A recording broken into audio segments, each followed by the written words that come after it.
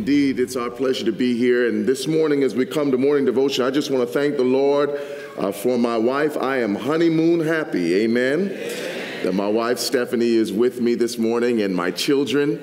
I am proud of them and so glad that we can be with you. We've been feasting on the word of the Lord all week. And this morning, I want to take us to an old well to get some new water for our thirsty souls in Daniel chapter 3. And in Daniel chapter 3, I want for us to turn there to the Old Testament. I'm going to read just a few verses from uh, Daniel chapter 3, verses 14 down through about 17. Amen, church? And as I read this in your hearing, we're going to read in the King James Version, Daniel chapter 3, verse 14. As I do, if you would allow me to pretend like I'm back in my church in Atlanta, Georgia, and ask you to stand to your feet for the reading of the word. We do this not only in honor of the reading of the word, but also so that you can wake up just in case you're still asleep. Amen. Daniel chapter 3, verse 14 down through 17, and it reads this way from the King James Version Nebuchadnezzar spake and said unto them, Is it true, O Shadrach, Meshach, and Abednego, do not ye serve my gods, nor worship the golden image which I have set up? Now, if ye be ready, that at what time ye hear the sound of the cornet, the flute, the harp, the sackbut, the psaltery, and dulcimer, and all kinds of music, ye fall down and worship the image which I have made, then well.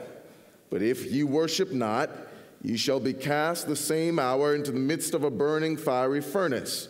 And who is that God that shall deliver you out of my hands? Here's their answer Shadrach, Meshach, and Abednego answered and said, O king, Nebuchadnezzar, we are not careful to answer thee in this matter. If it be so, our God, whom we serve, is able to deliver us from the burning fiery furnace, and he will deliver us out of thine hand, O king. But if not, be it known unto thee, O king, that we will not serve thy gods nor worship the golden image which thou hast set up. I want to preach for just a few moments on the subject things we lost in the fire. Let us pray. Now, Lord, if we ever needed the Lord before, we sure do need you now. So speak to your people, we pray. In Jesus' name, amen. You may be seated.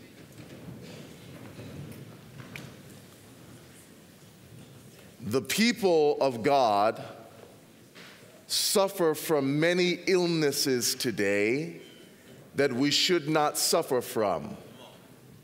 One of which is one of the greatest illnesses we suffer from, and that is spiritual amnesia. We seem to forget what God has done so quickly. As soon as we are blessed, we turn looking for the next blessing, forgetting to thank God for the blessings we already have. And oftentimes, when we are blessed, we we soon forget where our blessings come from, particularly those who have what I like to call premature faith. Those who praise God before they understand what God has done. Nebuchadnezzar is such a one, for he has received a blessing from God through Daniel in Daniel chapter 2. You know the story. Daniel has properly interpreted the dream. And Nebuchadnezzar, in his, in his gratitude for what God has done, gives a premature praise in Daniel 2 47 and 48 and calls Daniel's God the true God. But then in Daniel chapter 3, oh, how soon Nebuchadnezzar forgets how good God has been. For he erects a golden image in his own likeness. Now, the interpretation of the dream had nothing to do with Nebuchadnezzar erecting an image for his own self worship. But Nebuchadnezzar received a blessing he did not understand, gave premature praise, and forgot where his blessings came from. Be careful that you do not forget who blessed you.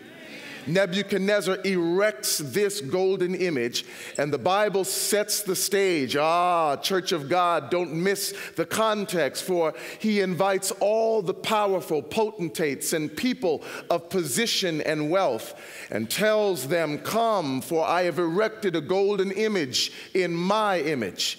And when the music is played, I need you to bow down.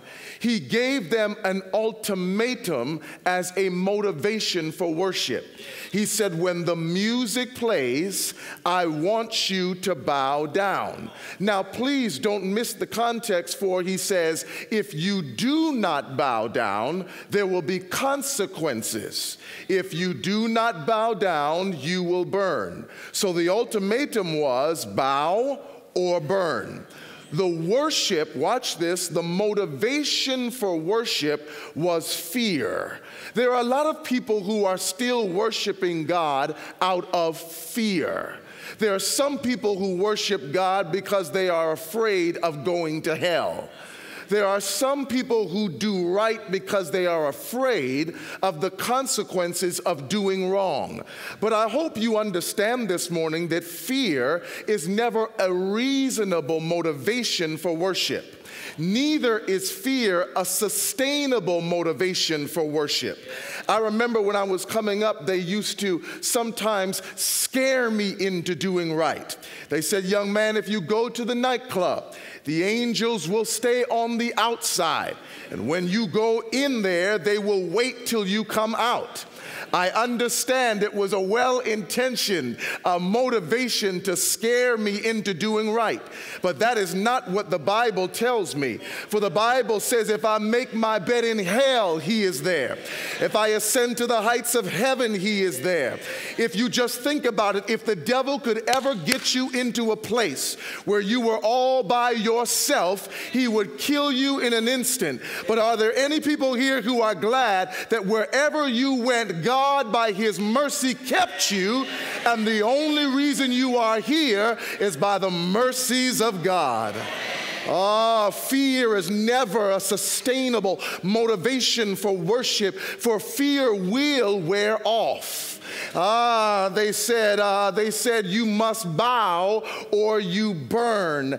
And when the music played, most of the people bowed down because, watch this, they did not, they understood that if they didn't do what the king said, they would lose their lives. Stay with me, we're going somewhere.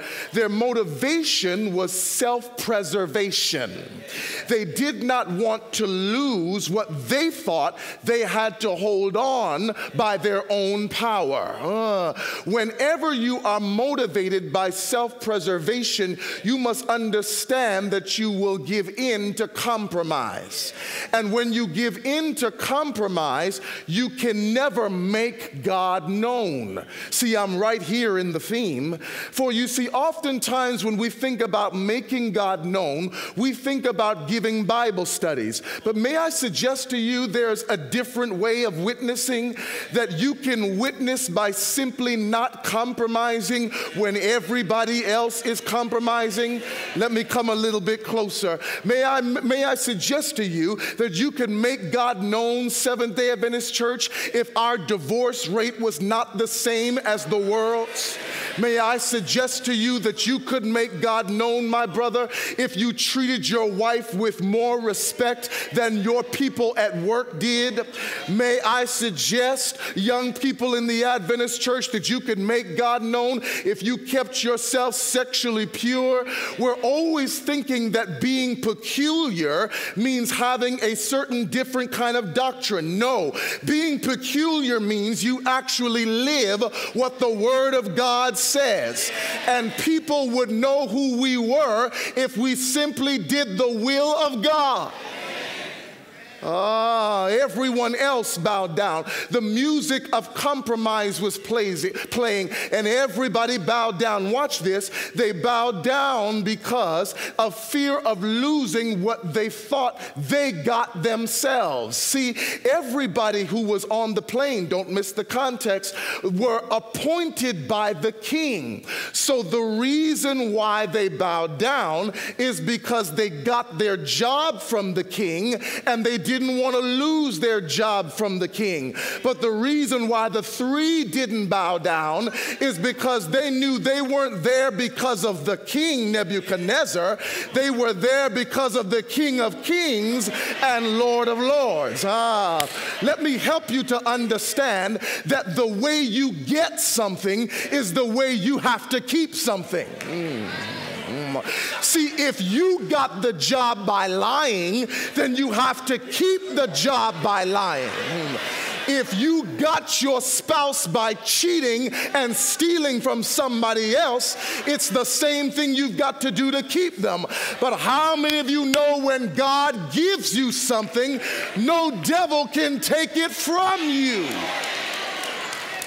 Ah, so they stand now on faith. They will not capitulate. They will not give in. Everybody's knees bows, but these stand erect uh, and they stand out because they're standing on the word of God. Uh, some folks around them see what they're doing and they call, they call the attention to Nebuchadnezzar and say, Nebuchadnezzar, oh Nebi, everybody else bowed, but they're are three who will not bow. Remember what you said? If they don't bow down, they've got to burn. Nebuchadnezzar gives them an opportunity. For you must know you will always get another opportunity to compromise. Uh, he calls them in and he says, uh, Is it true? Uh, did you not hear the music? Uh, maybe your ears are plugged. Uh, maybe the volume wasn't loud enough.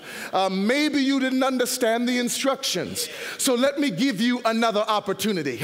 You missed your cue to compromise. So I'm going to play the music again. And when I play it, you need to bow down. Uh, in other words, let me come a little bit closer. I'm going to give you another opportunity to compromise. I'm going to remind you your bills are high, but tithe is due. And this time, when the offering plate is passed, you need to keep the check in your pocket because you've got to pay your bills. But how many of you know that you don't supply your own needs? God is responsible for supplying all your needs. So he says, Let me give you an opportunity. You need to bow down. They said, King, don't waste your time. Ah, I like this. Y'all still with me? He says, King, don't waste your time. We will not be careful. In other words, we will not mince words. We're not even going to hold our breath. Save your song. Let's tell you what we're going to do. We will not bow down because we know you sit on a throne, but there is a king who sits higher and looks down low. And we don't serve you, king. We answer to a higher authority because how many of you know that when you serve God, you will sometimes sign up for trouble. Mm, don't believe me? Come here, Job, and testify. Job can tell you that Job was minding his own business. God and the heavenly council were having a conversation. Here comes the enemy walking by, and God gets his attention and says, What are you doing? He says, I'm walking around looking who I can mess with. And God, not Satan, God, not Lucifer, God says, Have you considered my servant Job? Remember remember, it was not the devil's idea, it was God's idea. Have you ever considered that the trouble you're in, God referred your name to the enemy? That when Satan was looking for somebody to tempt, God pulled your resume, looked through the file, and saw that you were worthy of trial because he needed you to interview for an opportunity to make God God known. Uh, let me illustrate. Uh, uh, when, I was, uh, when I was a student at Oakwood College, now Oakwood University, I was the student body president, and I, I was responsible for planning some of the events and, and uh, the excursions. So I took my students, we took the students out on whitewater rafting. I don't know if you've ever done that. That's when you go down a, a rapid river. And so I said, Well, I'm the brave leader. I've got to take my students down the water. But the problem was, ladies and gentlemen, I could not swim.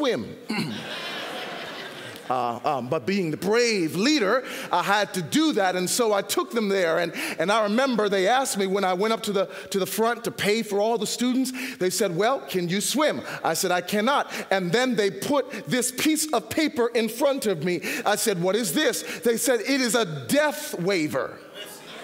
I said, What does that mean? They said, Well, this means that you must sign this death waiver that says that you are volunteering to go on this journey, and just in case you lose your life, your family does not have the right to sue us for what you voluntarily signed up for. Huh? Let me help you. That whenever you sign up for Christianity, you sign a death waiver because just in case it doesn't turn out the way you planned your life to be, you will not be able to haul God into the court of your own conscience and hold him guilty for what you volunteered for.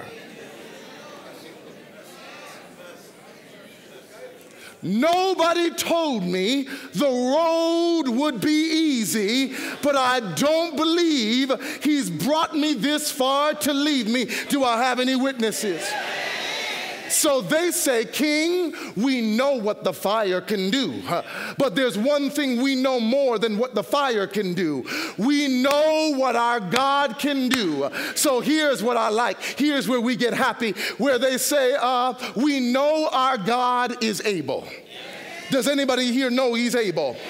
We know God is able to put food on the table, but if not, we know God is able to pay all the bills, but if not, we know God is able to bring our wayward children back to the fold, but if not, King, we will not bow down because our praise is not predicated on what God does. Our praise is contingent on who God is. And since He never changes, our praise will never change. But if not, now the enemy gets real mad. And Ellen White describes that the, a demonic spirit now takes over the spirit of Nebuchadnezzar as his face, his face now becomes uh, contorted. He cannot believe that they would make a declaration of faith like this in the face of persecution. But please understand, every every declaration of faith will demand a declaration of war from the enemy.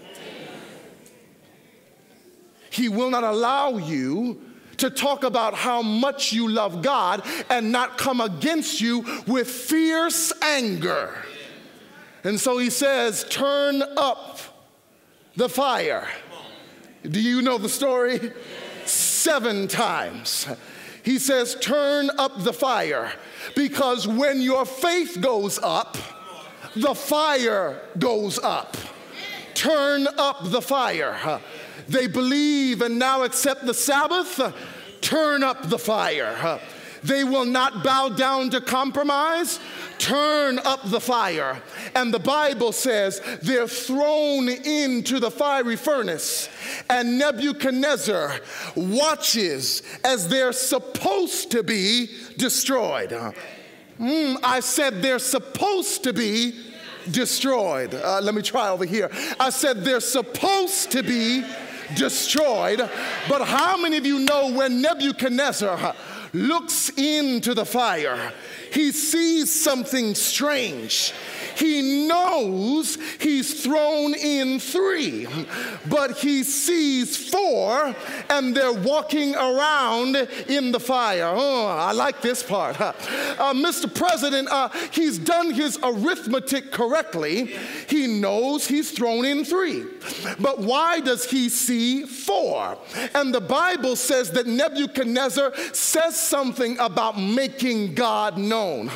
He says, uh, I thought I threw in three, but I see four, and the fourth one looks like the Son of God. Now, wait, wait, wait just a minute. Uh, now, understand this Nebuchadnezzar is a pagan king. He's never seen God. So, how does he know what God looks like? Here's where I've been trying to get to the whole morning. Because when the saints of God are in the fiery furnace and refuse to give up their faith, uh, people who have never seen God will see God in you. Mm, uh, so that you don't have to invite them to an evangelistic meeting. Why don't you get a pink slip at work, lose your job, and still say hallelujah anyhow? That's the best kind of evangelism because you make God known when you're in the fire and you refuse to give up your faith. Ah, I like this now because they're in the fire and God has not left them. God is with them because how many of you know that your fiery trial attracts God to you? Ah, they're in the fire. But please notice something in the text. It's a part that a lot of people skip over. For it says that the people who threw them in were destroyed at the mouth of the fire. Have you ever thought about that? The intensity of the fire was of such a great place that when those who threw them in, they were destroyed by the fire. So then, why was it necessary for King Nebuchadnezzar to bind them before throwing them into the fire. Work with me on this. If the fire was so intense that it killed those who threw them in, why would you go to the trouble of binding them and then throwing them in? Shouldn't the fire destroy them without them being bound? I believe it is a spiritual symbol of a, of a reality in our lives that before you go into every fiery trial, you go in bound. Mm. You go in bound. For you were born in sin, shaped in iniquity. You go into every trial bound, bound by sinful proclivity and leaning towards iniquity, bound, bound with certain habits and addictions and practices. And here's what the enemy does he knows your boundness, and he says, if I throw them in the right situation, it will act activate what's already in them and they will lose their faith. But what he did not plan on is God being with you in the fire, so that when God gets with you in the fire, he uses what should destroy you to set you free. Oh, you missed it because the fire didn't destroy anything but their chains. So instead of running from the fire, you should thank God for the fire because the devil was an accessory to your deliverance. Because when he turned up the fire, it set you free. He calls them out the fire. Oh, I'm almost through, but are you praising God with me? He calls them out the fire and, and he does the sniff test. He, he's examining their clothes. He goes to the, the parts of their hair and he realizes that the fire has done them no harm. Why? Because God is such a God that he will not let you look like what you've been through that whatever you've been through, he won't let you look like uh, what you've been through. You don't look like you've been sick with cancer. You don't look like you've been through hell and back because God is able to keep you so you don't look like what you've been through.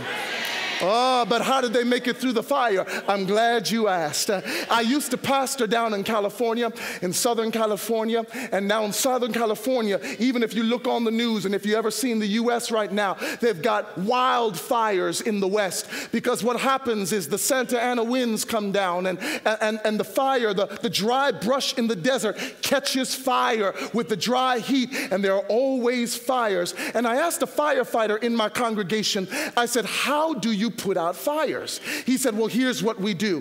He said, As firefighters, we study the nature of fire. We understand where the fire is going. He says, We get to the place where the fire will be. He says, We light fire on purpose. I said, Why would you do that? He says, Because we've got to light the fire on purpose. It's called a controlled burn. And we light the fire on purpose and burn the place down because of this principle fire can't destroy what's already burned. Mm, you get this. Huh? So we light it on fire on purpose so that when the raging fire gets there, there's nothing left to burn. Well, when the three Hebrew boys said, But if not, they lit a controlled burn so that when they got to the fiery furnace, there was nothing left to burn. They had given everything to. God, and God saved them not from the fire, but in the fire. And then finally, the Bible says that Nebuchadnezzar looks at them this premature praiser who was used to only praising God for what he does and not for who he is. This premature praiser looks at those who have come through the fire, who have made God known. Because you see, remember the context, all the powerful people were there. And the thing about God is, he will let the devil set the stage, but he will take the stage over to make himself known. So Nebuchadnezzar then promotes those who have been through fire because God will only promote those who endure fire. Oh, you missed it, so let me leave you with this.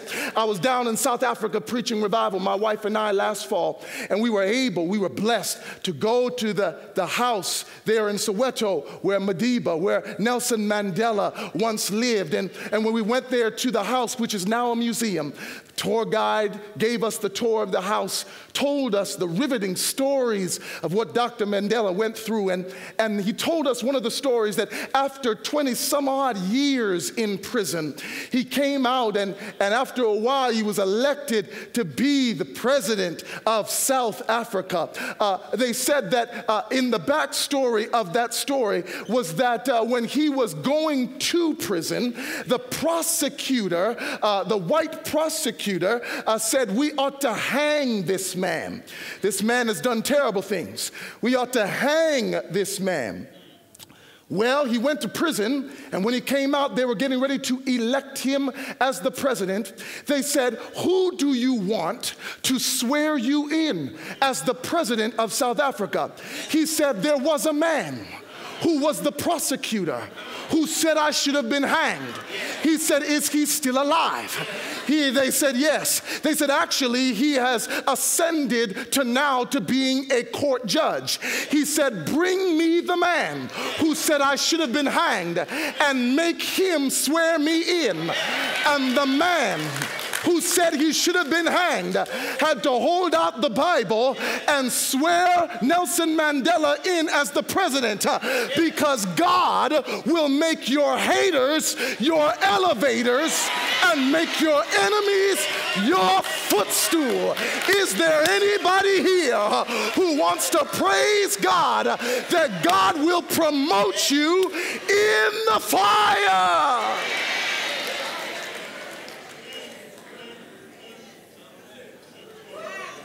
And so, the only things you will lose in the fire are the chains that bind you So burn. Let the enemy turn up the fire. You will not bow and you will not burn, for God is able. I said, God is able. I said, God is able to deliver you from the fire. But if not, he'll glorify himself in the fire. Wants to have a fireproof faith? Stand to your feet.